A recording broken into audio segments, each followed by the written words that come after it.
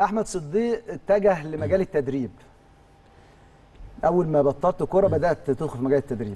طبعا بس بشكرك وبشكر كل اللي موجودين في الإعداد والإخراج على المقدمة الجميلة دي.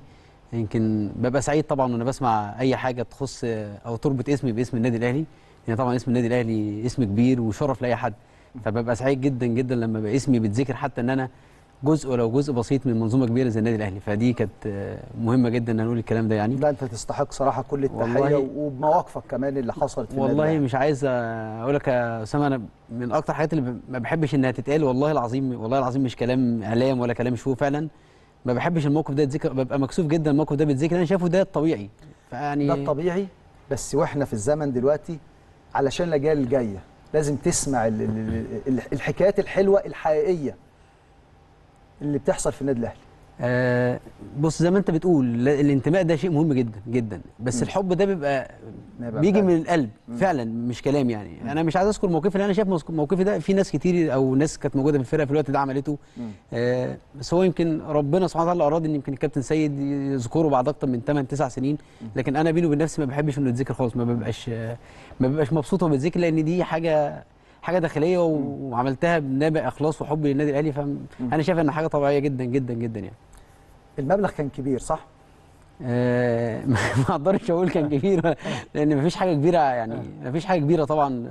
بص يا أسامة بجد مش كلام يعني. إحنا لولا وجودي أو انتمائي للنادي أو ارتباطي هو الموقف بس علشان الم- ال- المتابعينا دلوقتي كان الكابتن أحمد صديق كان في وقت آه، إيقاف الدوري كان في جزء من مستحقات اللاعبين هيتخصم.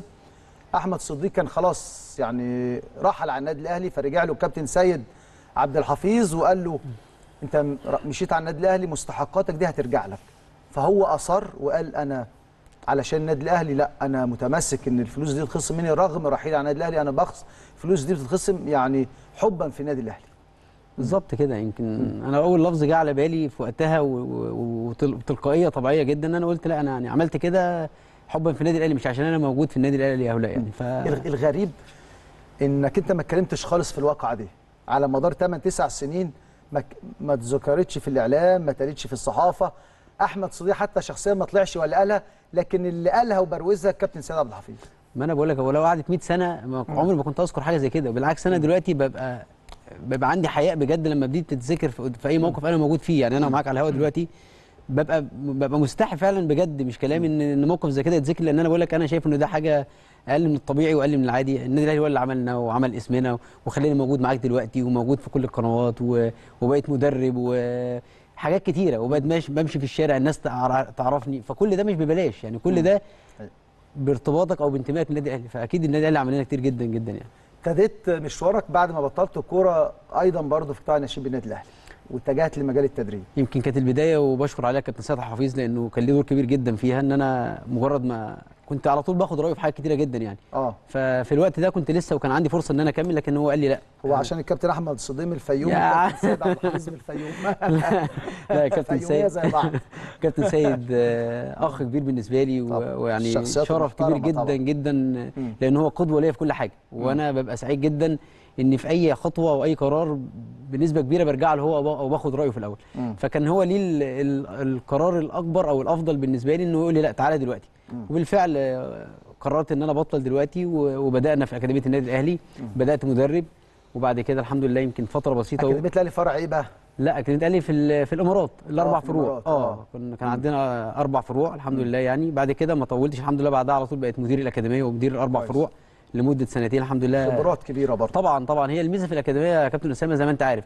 هي فيها شغل إنك بتاخد خبرات إدارية وفنية مش أيوة. فني بس. مم. والواحد فعلا عشان تدخل مجال التدريب محتاج الإداري والفني طبعا. والطبي وكل ال- كل عشان ال- تعرف تاخد القرار. طبعا طبعا. فدي من الحاجات اللي فادتني جدا جدا جدا إن أنا استفدت اداريا وفنيا وحتى ماليا. يمكن أنا كنت ببقى بنسبة كبيرة برضو ما بتدخل في الماليات والإداريات والمصاريف وكل الحاجات دي. أنت عارف يعني فكرة أكاديمية آه كاملة. آه وبعدين عن أربع فروع وفي دولة كبيرة زي دولة الإمارات والحمد لله حققنا نجاحات كبيرة جدا بفضل الله. كويس. آه بعدها على طول القرار ده برضو أكيد جه من من مجلس إدارة النادي الأهلي و وكان في تواصل آه، من الكابتن خالد بيبو اللي برضو بشكره بشكل كبير جدا لأنه كان له وجهة نظر و- و- والأمانة أفادتني جدا. قال لي لا تعالى دلوقتي القطاع. مم. أنت عارف الوقت اللي كنت موجود فيه في الأكاديمية كان هو مدير الأكاديميات. مم. لما مسك مدير آه، رئيس قطاع الناشئين في النادي الأهلي في الوقت قال لي تعالى. الوقت ده انسب ليك وبرضه تاخد خبرات بشكل افضل وتقرب أكتر من المجال الفني. وبالفعل اخدت بمشورته وقضيت سنتين فرقوا معايا بشكل كبير كنت جدا جدا. فني الفريق 2010 لا في الأهلي؟ آه. لا 2006 و2008 2006 2006 2008 اشتغلت في الأول مع كابتن سيد غريب وده برضو من الناس اللي فادتني جدا جدا في النادي. وانت عارف إنه اسم كبير جدا في قطاع الناشئين. آه بعد كده على طول الحمد لله بقيت مدير فني وبقيت مدير فني 2008 وال- آه، و- وجات لي برضو حاجة بحمد ربنا اني برضو كنت مدير فني ل آه، القاهرة وكنا مسافرين اليابان آه ودي برضو من الحاجات اللي الحمد لله بتضيف للسي في بتاعك طبعا. طبعا وده وده حصل برضو من خلال تواجدي في النادي الأهلي. استأذنت طبعا من الكابتن خالد بيبو لأن كنت مرتبط بالاثنين مع بعض. أنا كنت ماسك الفرقة 2008 في النادي الأهلي وكنت برضو آه، مسؤول عن آه، منتخب منتخب القاهرة. القاهرة 2008 لأن لك كان بطولة وكانت بطولة مهمة لكن آه، كورونا غيرت الأمور شوية فما حصلش نصيب يعني. بعد كده الحمد لله جات لي فرصة أو نقلة تانية برضو من خلال النادي آه، في الجونة نادي الجونة في الدوري الممتاز مع الكابتن تامر مصطفى اللي بشكره بشكل كبير جدا لأنه آه، أضاف لي كتير جدا ودي كانت نقلة برضو أكيد أنت عارف زي ما أنت قلت هي خطوات خطوات ابتدت من الأكاديميات من بعد. كده قطاع الناشئين بعد كده تبدا تاخد الدوري الممتاز طبعا. والحمد لله ده حصل مع جهاز محترم جدا بقيادة الكابتن تامر مصطفى والكابتن رضا الفداوي والكابتن طارق سليمان اللي كان ليه الدور الأكبر أكيد إن هو. كان ليه الدور الاكبر إنه يرشحني للكابتن تامر مصطفى. الحمد لله ادينا بشكل كويس جدا واستفدت من اسم كبير زي كابتن تامر وعنده فكره و- راجل راجل مثقف ومحترم. وما بيبخلش عليك بمعلومة. بعد كده نقلة تانية الحمد لله كلها خطوة بتجيب خطوة. مع آه، كابتن حسام مع البدري كابتن حسام البدري. الجزائر وفاق الصيف. فاق الصيف الحمد لله و- وكابتن حسام للأمانة من أكتر الناس اللي ادتني فرصة كبيرة جدا. مم. كان مديني مساحة كبيرة جدا جدا في الشغل. كابتن حسام طبعا اسم كبير جدا و... يعرفك وانت لاعب و... واشتغلت معاه وأنا لاعب لكن كمان الشغل معاه مدرب حاجة تانية يا اسامه بجد يعني انت أكيد اتعاملت معاه وهو مدير كورة واتعاملت معاه وهو مدرب عام واتعاملت معاه وهو مدير فني. الموضوع مختلف تماما. أنا بشكره جدا على الفترة دي لأن اضافت لي كتير جدا جدا جدا. يمكن عشان كده دلوقتي الحمد لله بدأت أخد الخطوه إن أنا إن شاء الله بفكر إن أنا أبقى لوحدي أو أشتغل لوحدي. بعد خبرات كتيرة جدا. ما أقدرش اخد القرار ده أسامة غير وأنا عارف إن أنا الحمد لله واقف دلوقتي على أرض ثابتة. طبعا طبعا. كل الفترات دي أنا مش عايز أعتمد على إن أنا كنت لعيب آه، محترف. طبعا. لا باخد بالخبرات وب- وبشتغل وبتعلم وبثقف من نفسي وب- وبستفاد من كل جهاز بشتغل معاه. يمكن الحمد لله دلوقتي موجود أكتر من عرض الحمد لله في الممتاز به.